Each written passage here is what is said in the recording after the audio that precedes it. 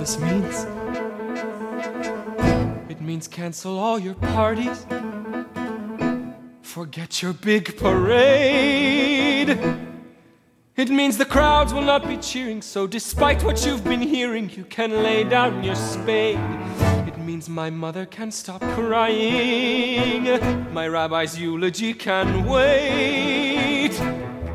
It means that Dorsey can stop beaming, and my cousin can stop dreaming of his portion of my estate. It means no, this isn't over.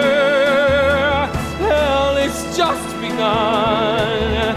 Hail the resurrection of the South's least favored son. It means I made a vow for better. Means the journey ahead might get shorter.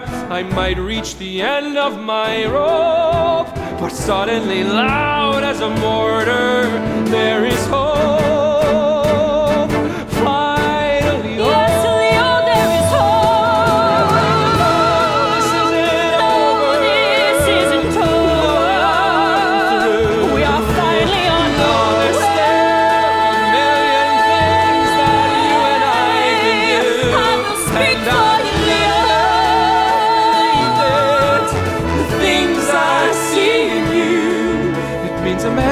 Isn't guilty doesn't have to walk the plank. It means the gallows still are vacant, and we've got my wife to thank. It means you shouldn't underestimate Lucille and Leo forever.